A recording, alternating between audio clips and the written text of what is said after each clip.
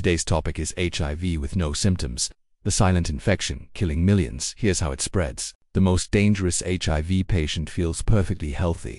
You could be HIV positive right now and feel completely fine. No fever, no pain, no rash, nothing.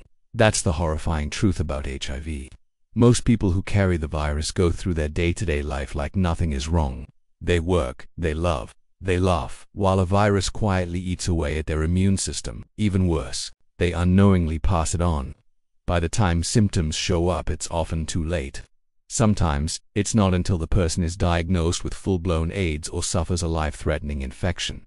This isn't fear-mongering, this is medical fact. And today, I'm going to explain how HIV hides in your body, why so many people have it and don't know it, what subtle signs you should never ignore, and how to protect yourself before it's too late. This is Dr. Andrew D. Badley Pregat.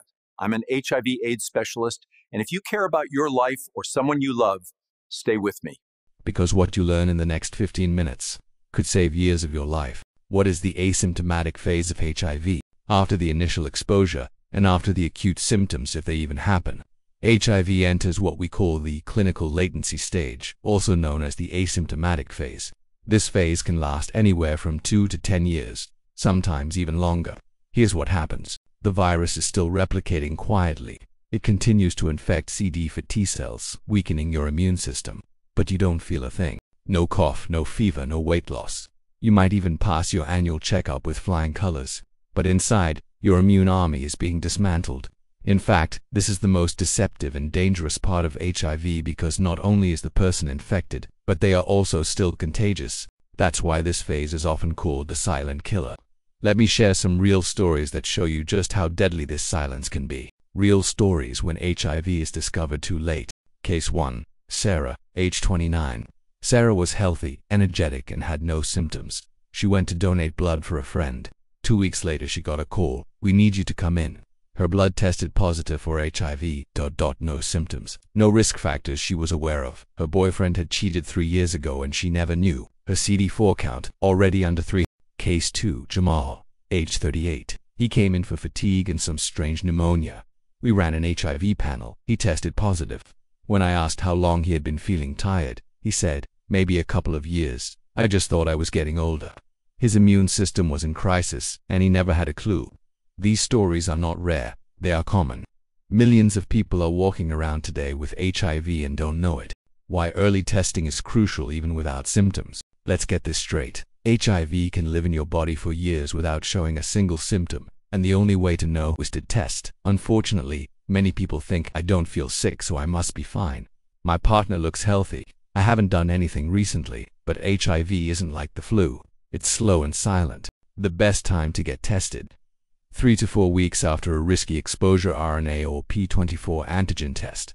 Again at 6 weeks final confirmation at 3 months the newest fourth-generation tests can detect HIV during the window period, the time between infection and when the body produces enough antibodies to show up on a standard test. Don't wait for symptoms. By then, it may already be in the AIDS-defining stage. Subtle signs people think are nothing but could be HIV. HIV is often called a silent invader, not because it leaves no trace, but because the signs it gives are so easily dismissed. Let's walk through some of the most commonly ignored or misattributed symptoms that can appear even in the so-called asymptomatic phase. These early red flags often go unnoticed or worse, are waved away as routine issues. Mild fatigue that you blame on stress, overwork or lack of sleep, occasional night sweats that feel annoying but not serious, random skin rashes, small and non-itchy that seem to come and go, recurring mouth ulcers, those tiny painful sores inside the lips or cheeks, Slight weight loss you chalk up to poor appetite or skipped meals. Swollen lymph nodes, especially under the jaw, in the armpits, or groin, that feel tender but not painful. Here's what makes HIV so deceptive. These symptoms may disappear just as quietly as they came. You might feel better in a few days. You convince yourself there's nothing wrong. And that's exactly the trap. You tell yourself, I'm just tired from work. Maybe I need to take vitamins. It's probably stress or low iron that's sore in my mouth just from hot tea or biting my cheek. But these are not random glitches. These are your body's warning lights. Your immune system is trying to get your attention. And every time you silence those alarms, the virus moves one step deeper. Don't wait for the symptoms to scream. Listen when they whisper. because early testing can mean the difference between a lifelong battle and a life well managed. How to protect yourself from silent HIV. HIV doesn't always announce its presence with obvious symptoms. In fact, many people look and feel completely healthy for months or even years while unknowingly carrying and spreading the virus. That's why protection isn't just about trust, it's about proactive choices. Here's how you can safeguard yourself even if you or your partner feel fine. Always use protection with new or multiple partners. Appearances can be deceiving, and HIV doesn't show on the outside. Get tested together before deciding to stop using protection. One test can change everything. Repeat testing every 3 to 6 months if you're sexually active, especially if you have more than one partner or are unsure of your partner's status. Understand UU undetectable equals untransmittable people living with HIV who are on treatment and have an undetectable viral load cannot transmit the virus sexually, but this only works if the person is regularly tested and consistently medicated. Know your own body. Don't ignore unusual fatigue, recurring mouth, sores, rashes, or swollen glands. If something feels off, it's worth checking.